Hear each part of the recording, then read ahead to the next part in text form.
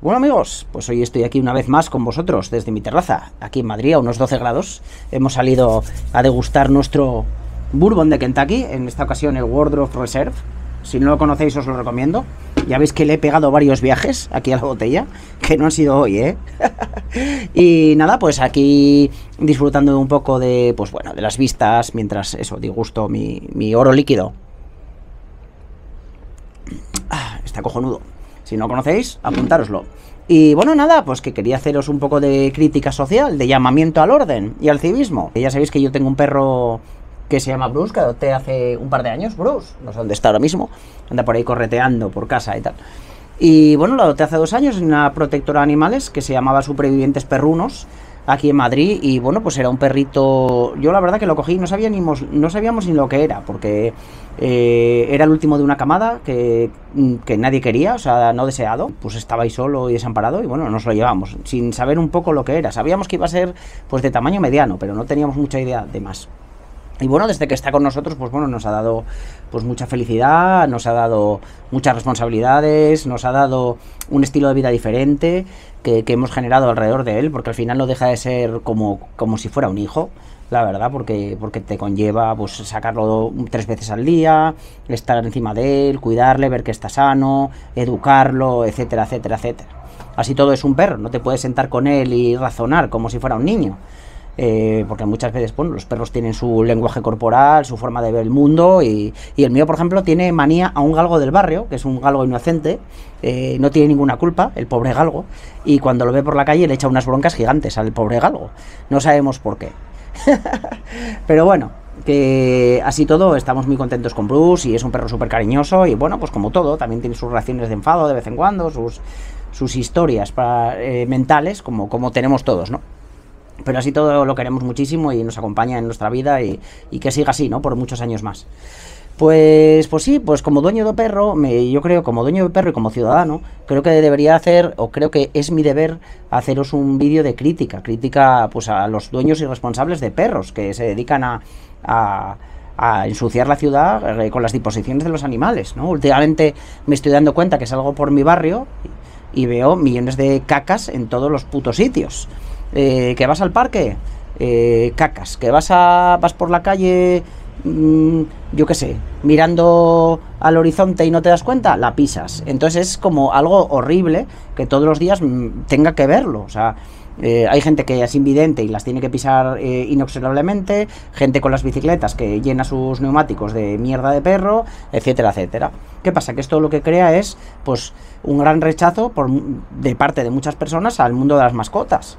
¿Qué pasa? Que gracias a esto pues no se dejan llevar las mascotas a las, a las playas en, épocas de verano, no se dejan meter animales muchas veces en los, en los establecimientos y en muchos sitios porque, porque, porque por eso, por, por el tema de la irresponsabilidad de los dueños, ¿no?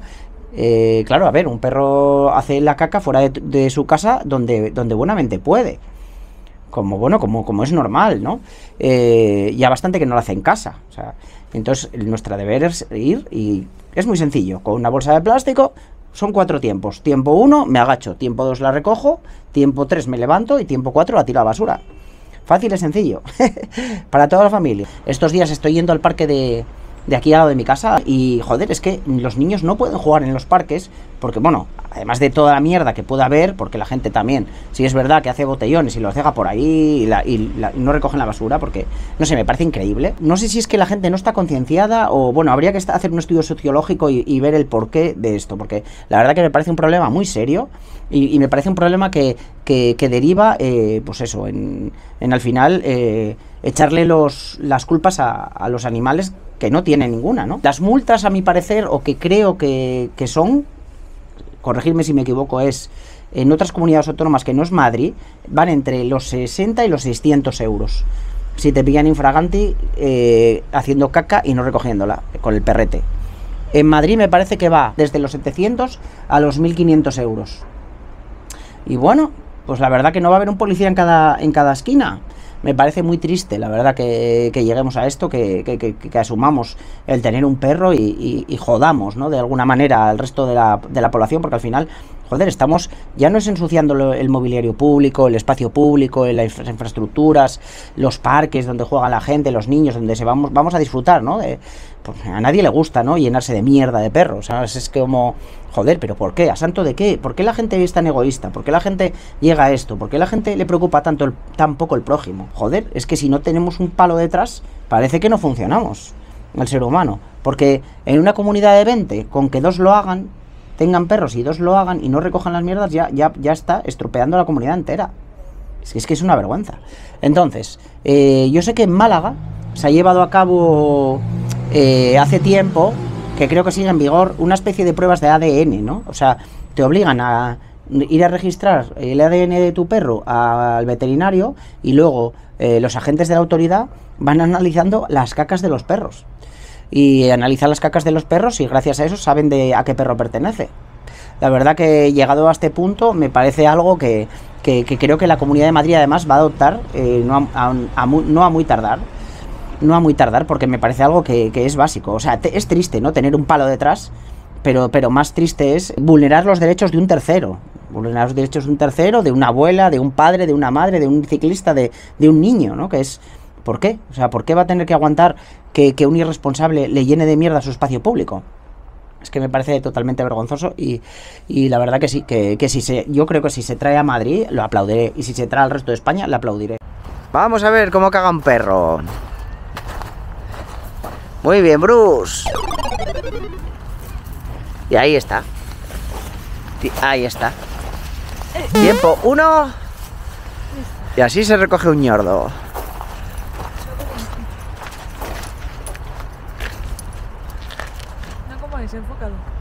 No como este o ese.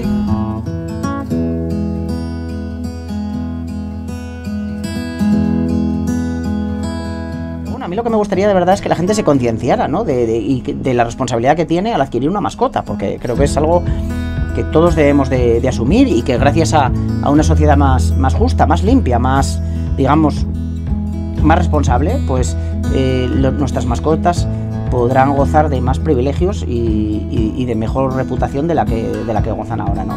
Muchas veces hablamos de la educación en los colegios, hablamos de, la educación. Yo siempre digo que tener datos en la cabeza no es estar educado, ¿no?